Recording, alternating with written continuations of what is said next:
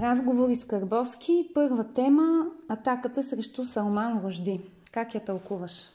Салман Рожди още от преди десетилетие и повече има фетва или фетва, не знам как се казва. Това е казаха елтоасите, че ще го убият, защото той написа нещо, което не харесва на хората, които обичат да четат роман. Разбира се, осигуриха му тогава охрана, Запада го прие, той е дисидент, който е подкрепен от Запада и рано или късно обаче у нези хора, които са решили да свършат отвратителната работа да убиват поети и писатели, те рано или късно са по-силни от поетите и писателите и рано или късно намират вариант. Аз не искам да се занимаваме с далечината на, на този проблем или да го да, го, да, да плачем на, на чужд гроб. Ние имаме много по-тежък и по-сложен проблем и той в момента се случва по най-страшен начин. Това е да го наречем синдрома Вапцаров. А, както каза веднъж пред невярващите ми очи и уши Любомир Левчев, той каза, ние убиваме своите поети. В момента е такъв етап настанал в живота и в политиката – че се случва това, което се случва винаги през 50 години, жестоката поляризация, която завършва с, която започва с отвратителна омраза, тя между другото е необоснована такава човешка изгаряща омраза, и завършва с наръгване с нож или по-лошо. Тълпата те осъжда. Тълпата осъжда а, поета, който няма къде да избяга. Нашите поети не могат да получат а, подкрепата на Маргарет Тачер или на Англия за охрана и да се махнат и така. В този смисъл ние трябва да се замислим, когато знаем, че някой като Салма Рожди може да бъде наръган на среща с, с нож, на среща с а, почитатели, а, читатели сигурно, ние трябва да знаем, че всичко започва от тази абсолютно непредизвикана омраза. Тя е омраза към неанонимните, защото никой не знае в момента името на ръгащия с нож, но всички знаем кой е наръган. Този човек ви е издразнил с думи. И тук вече ние трябва на всяка цена да се замислим. Хората, които ни дразнат с думи, и ние се опитваме да ги провокираме, ние ги обиждаме, ние ги мачкаме, ние ги отхвърляме и остракираме и компрометираме, това са просто хора, които казват нещо. А вие сте хората, тия сножовете, които чисто неволтариански не искат това да бъде казано.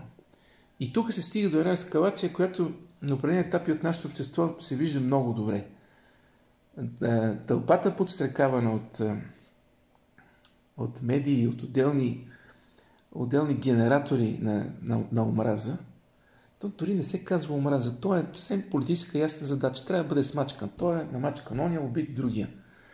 И тук не е нужно да вадиш нож. Генератор на омраза е това, което се случва в момента а, концентрирано в е, социалните мрежи, към хора, които може би не разбирате, може би не познавате, може би не сте ги чули, не сте ги разбрали даже какво искат да ви кажат. Хора, които са затапени от официалните медии, но пък има съвсем ясна кампания в фейсбуците и в социалните мрежи да бъдат наръгани с нож. Ако, ако концентрирате обидните думи, ако концентрирате подигравките, гадостта, директното желание да бъдат арестувани, гонени тези хора, тип писатели – Независимо какви сте, леви, десни, салма, рожди, антирелигиозни, религиозни, просто те са различни, така да ги наречем.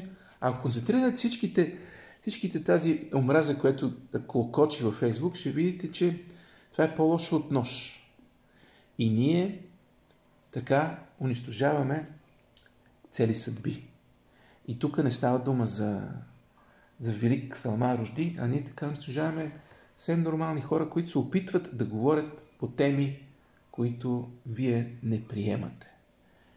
И затова смятам, че е много показателно. Има ескалация, ръгът рожди с нож, а у нас има такава ескалация, която си е, според мен, профашистка. Цялата идея на това е да не се говори по определени теми. И ето, ние не говорим по определени теми, само казваме, не се говори по определени теми. Това е. Втора тема на седмицата ФБР и Доналд Тръмп. Какво ще се случи с Тръмп според тебе? Не съм специалист по геополитика. Тръмп се, и Орбан се оказаха на една конференция, където заедно казаха неща, които внушават на по-консервативно мислите хора, които са много по-голяма част, но по-малко слушана и чувана.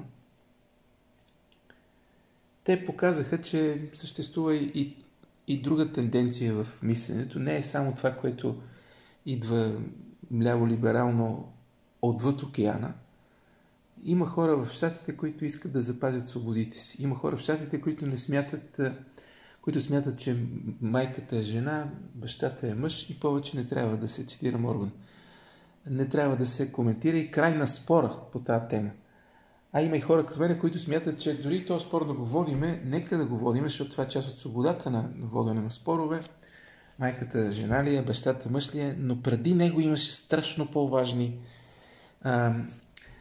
проблеми и въпроси, които трябва да се обсъждат. И примерно, докато спорим майката, жена ли е, бащата, мъж ли, всъщност е, нашата нация не произвежда деца и ние сме на първо място по изчезване на планетата. Това смятам, винаги съм твърдял, че имат, всички теми трябва да бъдат обсъждани, но има приоритетни теми и точно приоритетните теми по един и друг начин ляво-либералното отвъд океанско влияние не, не желая да ги разработи. И хората, които говорят по тези, по тези теми, те постепенно биват изтласквани. Дори не говоря за себе си. Значи, ние работейки 10-20 години в телевизията, а, може да се каже, че сме изтласкани в момента, но не става дума за това. Те са изтласкани първо от, от телевизията, официалното, после отиват в някакви маргинални телевизии, по-встрани, все, все по-в периферията и накрая биват изтласкани и от социалните мрежи, накрая и от YouTube биват, биват изтласкани. Затова трябва да се каже нещо много просто – наличието на Тръмп и Орбан е все пак някаква, може би глупава надежда на консервативните хора, че все още ще може да се проведат техните теми, да се проведе консервативния разговор.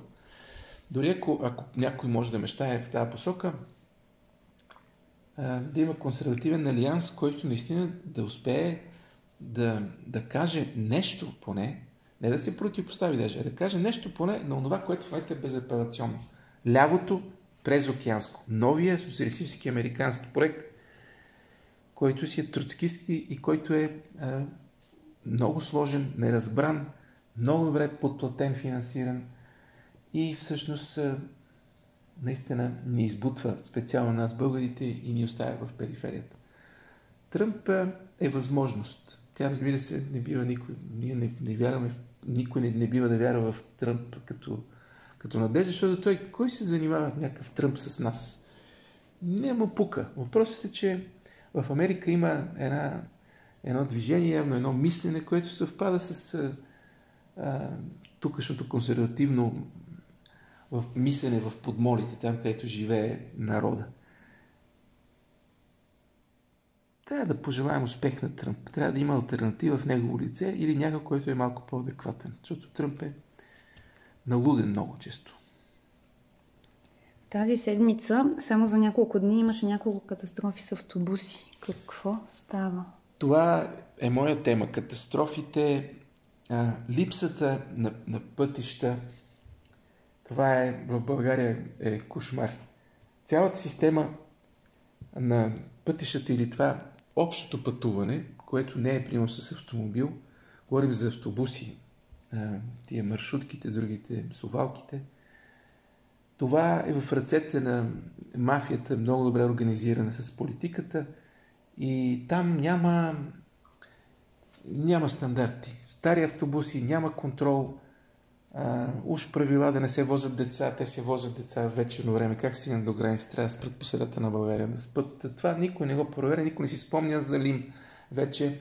Но истината е и друга. Освен автобуси, организация, ние, ние нямаме пътища.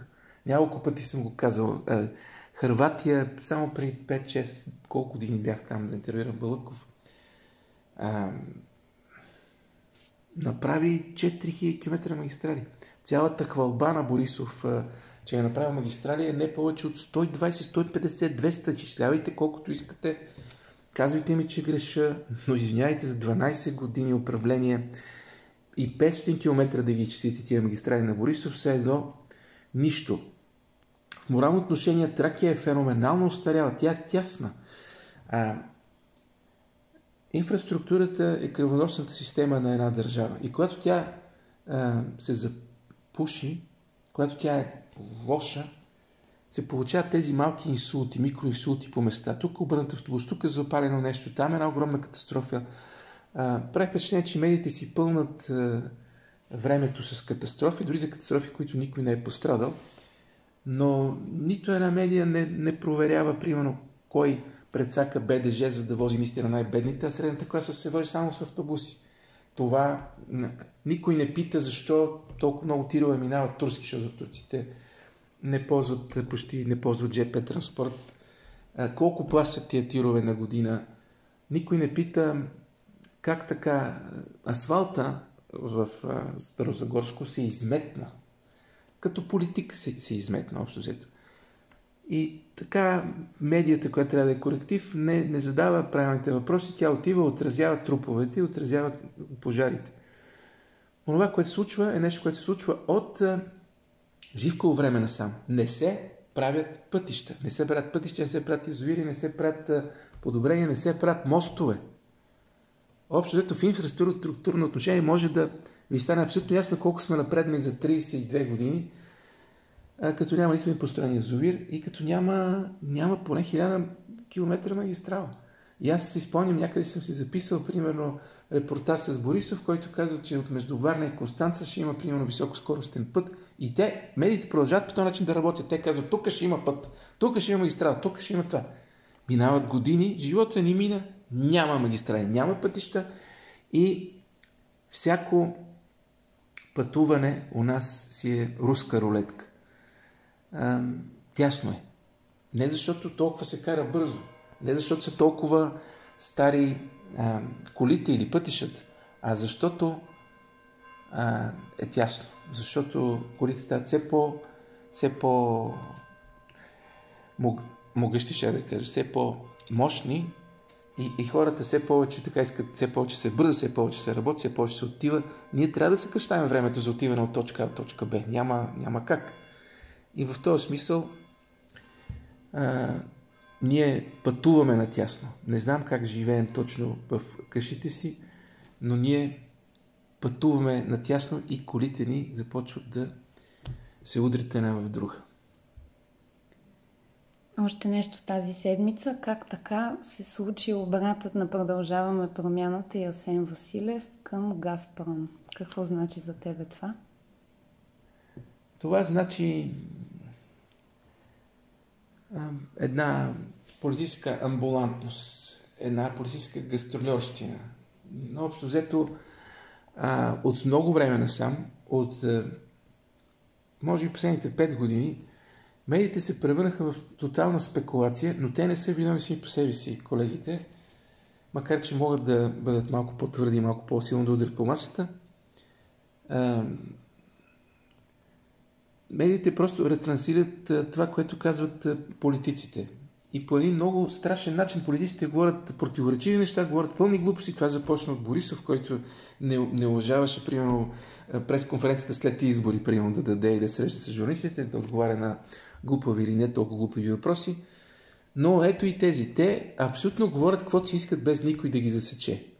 Няма кой, няма при кого да отидат и той е да ги засчеби. Вие казахте това, вие ли казахте това. В момента журналистиката е във Фейсбук, ето един Изикидис може да се върне назад, явно има време тази жена, да е жива и здрава, да се върне назад и да сравни двете, двете съобщения, извадени от една съща уста. Асен казва това преди време, после казва това. Ние не можем да коментираме спекулации.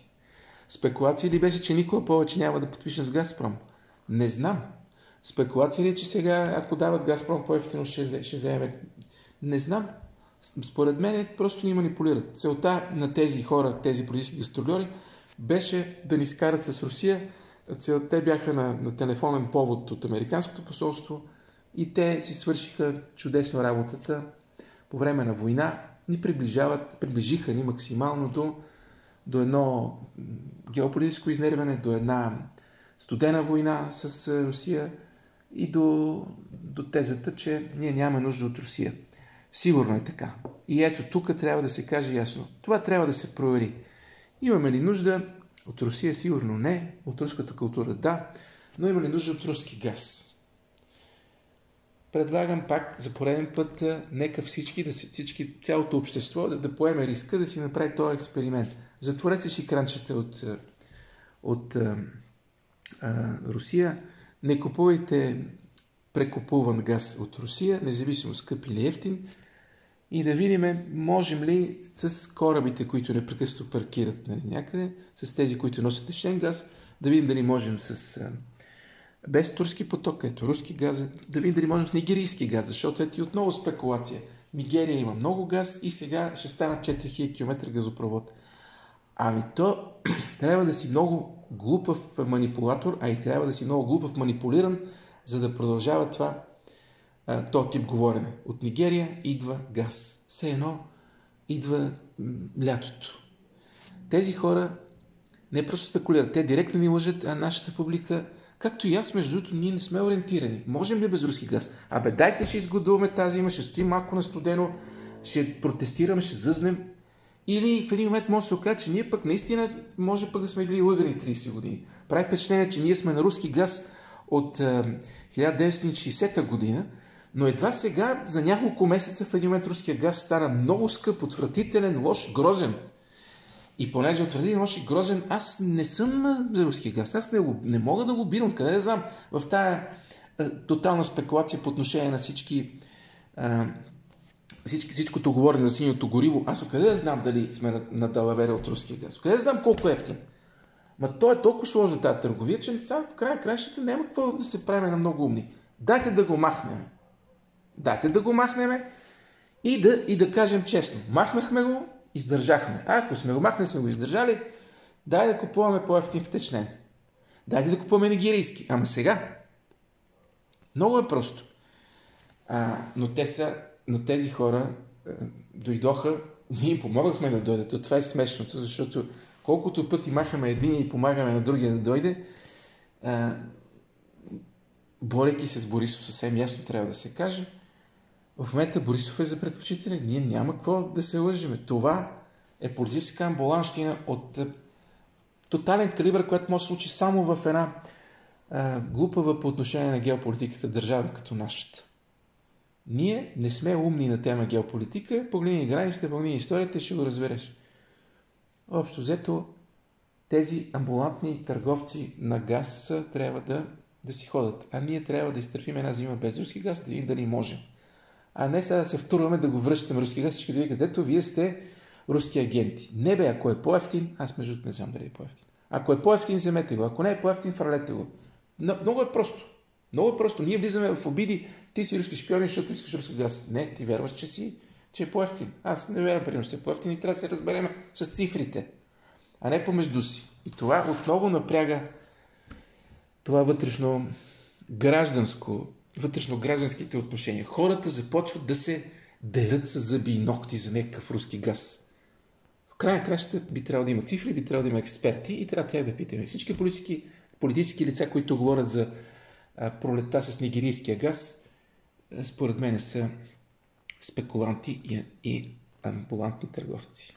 Друга тема обаче, която ни раздели Македония. Тази седмица историческата комисия излезе най-накрая с някакво решение, че цар Самуил е бил владетел на българско царство. Това в каква ситуация ни поставя? Загубихме ли Македония или още не? Това решение на тази комисия, която преговаря, това са учени, те са историчари, както ги наричат в Македония – и това е определено напредък, защото да си присвоиш чужд цар и да кажеш, че той има такова Охридско царство, пък то владее нещата там, територията Дунав, това е доста зловещо, защото на този принцип рано или късно ще се появят търкания не просто на теория, ще се появят цели идеологии. Това, което се случва според мен е чудесно и цар Самуил трябва да бъде вкаран в македонски ученици като български, български цар, който е а, живял в Охрид и оттам е управлявал българско царство. Няма нищо, нищо страшно в това. Напротив, това е крачка напред. По-важно е нещо друго. Прави впечатление, че национализма е просто инструмент, бих казал, тухличка в геополитиката на Съединените щати. Когато национализма на българите леко избои, значи може да си разказваме за Мамин Колио, можем да си да се опитваме да разказваме как Македония, тази територия, не, че не става дума за територия, става дума за цял един народ. На това място, на тази територия, български национализъм е натискан с бутуш надолу. Той не е най-читавото движение. Той е много профански, определено. Но ето как, давам само един пример, как български национализъм е натискан с, с сериозен с, с, с крак надолу, тихо-тихо, нали? Не се обаждайте. А украинският национализъм, примерно, не е натискан по този начин. Напротив, национализма се ползва за раздробяване на Европа по съветско пространство, самата Русия. Те първа ще виждаме това упражнение, където топоним се превръща в държава и от топонима се превръща, се, топонима се превръща в а, националност, идентитет. Идентитет от, както го казват е, в Македония. Край на кращата, замислете се колко, колко е лесно в а, една страна, малка държава като България, да отидеш в Добруджа, да извадиш десетина добруджански националиста, да почне да пише историята на, Добро, на Добротица и Карвуна, Каварна там като столица и да кажеш, ние сме отделна нация. Ние говорим друг език, ние правим, ние сега сме едва ли не по-робени. Ние имаме дълга история и тя стига чак до а, един генерал на Александър Македонски, който е от Добруджа. И се почва, ето това е геополитическа феноменална спекулация, която се случи в рамките на нашия живот, където докато американците обединяват себе си и едни различни щати, едни различни хора от цял свят се групират, дават клетва и стават американци и те стават като една единна нация и там дори не се коментира кой е тексасец и кой не е.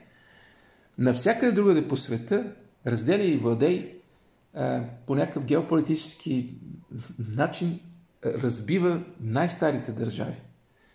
Може би това е и цел. Аз не, не вярвам в теория на конспирацията, но мога само да кажа. Американският, американската геополитика създаде от топонимите, от местата наречени по някакъв начин, създава цели нации. И това става с медии, с пари, с вложения, с предатели, предатели, предатели. На, на изток има много, много удобен набор от, от предатели. За това трябва да се замислим. Ако утре дойде някой и каже, че Добруджа е отделна република, Мизия пък отделно реши да се, да се вдига и тя да каже, ние тук имаме наш диалект, това те първо ще ни създава много проблеми. И ние трябва да го осъзнаем. Ние трябва да осъзнаем, че няма австрийски язик. Ние трябва да осъзнаем, че е, по време на историята границите се менят, но населението, етноса е един и същ и това се доказва от ДНК, през езика, през културата, през родови връзки.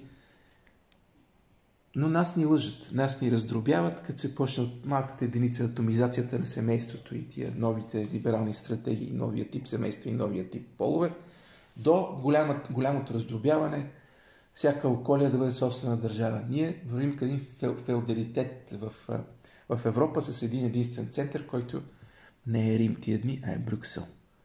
Благодаря ви за вниманието.